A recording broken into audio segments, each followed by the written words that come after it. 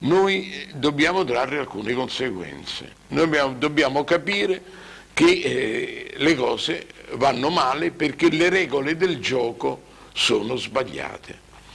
C'è questo sentimento popolare di cui si è avvertito il fermento quando a seguito del problema del fenomeno di Tangentopoli si è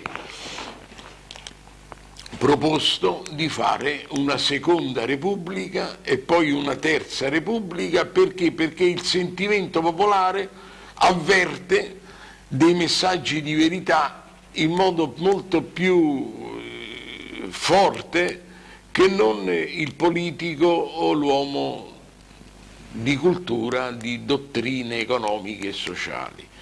Perché quando il ehm, problema viene sofferto sulla propria pelle, si ha una carica di comprensione del, del dramma che stiamo vivendo, questo dramma vero, che non si chiama ormai più democrazia. Dobbiamo cominciare a capire. La parola democrazia, che era nata sette secoli in prima in Grecia, non una volta è usata del, del, nel Vangelo. E perché? Perché il principio della democrazia è un principio che basa sulla legge del numero e il numero è finalisticamente e moralmente neutro. Noi abbiamo bisogno di tornare a un concetto di società organica. Che cos'è la società organica? È la spinta culturale, questo sentimento popolare che ha proposto a suo tempo l'alternativa della seconda repubblica come è stata chiamata e che poi non ha avuto esito perché? Perché i mass media si sono preoccupati di questo sentimento e quindi hanno placato le acque. Noi però abbiamo tenuto fermo questo messaggio, il messaggio che viene dato all'apertura di questo nostro servizio. Oggi la moneta nasce di proprietà della banca che la emette prestandola ai cittadini. Noi vogliamo che nasca di proprietà dei cittadini e che sia accreditato da ognuno come reddito di cittadinanza. Che significa moneta di proprietà della banca? E andiamo un momento in profondità per capire il significato di queste parole che ormai sono entrate per la prima volta nel linguaggio corrente. Quando noi parliamo di proprietà della banca, significa che la banca all'atto della moneta ci presta i soldi nostri.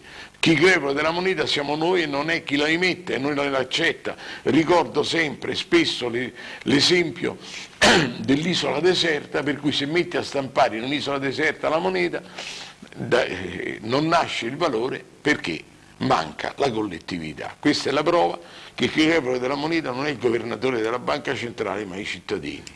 Evidentemente su questa premessa noi dobbiamo cominciare a capire alcune conseguenze. La prima conseguenza è che dobbiamo toglierci dalla mente la fissazione che quello che noi paghiamo di tasse vada utilizzato per scopi sociali, cioè per eh, sopperire alle esigenze dello Stato, dei servizi dello Stato. La verità è ben altra, perché noi sappiamo che la Banca d'Italia è una società per azioni ed è una società privata con scopo di lucro, tant'è vero che numerosi azionisti sono stranieri. Recentemente tra gli azionisti della Banca d'Italia è entrato a far parte anche un gruppo di arabi. Quindi il fatto di chiamare società per azioni, la, la, questa società privata per scopo di lucro, chiamarla Banca d'Italia è un'espressione impropria perché quando noi abbiamo capito che è una società privata per scopo di lucro, dobbiamo anche capire che il guadagno di questa società privata consiste nella differenza tra costo tipografico e valore nominale della moneta.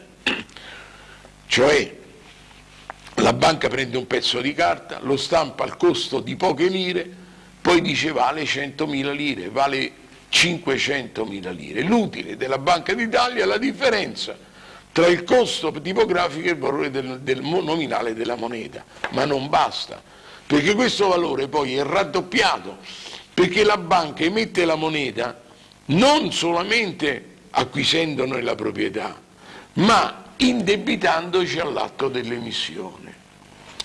E naturalmente questo vuol dire che dopo averci espropriato dei soldi nostri ci indebita di altrettanto.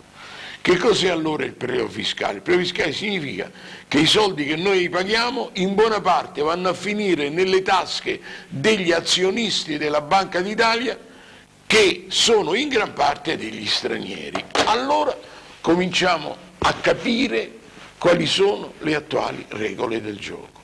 Noi purtroppo ci troviamo a dover sopportare un regime in cui chi comanda non è il politico in senso stretto, ma è l'usuraio. E l'usuraio è il padrone del sistema bancario attuale perché la moneta viene messa prestando.